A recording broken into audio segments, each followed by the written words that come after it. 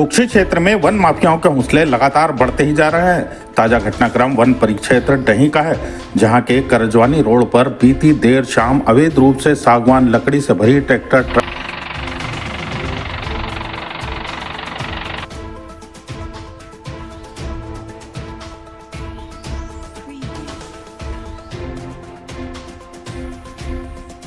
वास्कले के अनुसार, अवैध रूप से एक सागवान लकड़ी का ट्रैक्टर पलटने की जानकारी मिलते ही मौका स्थल पर पहुंचकर जानकारी वन विभाग एवं पुलिस विभाग को दे दी गई है। घायलों के उपचार को लेकर अस्पताल पहुँचाया गया है।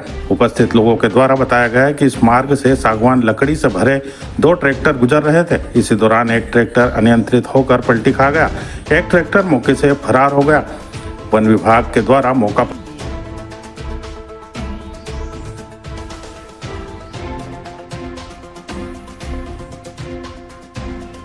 फ़िलहाल जारी है।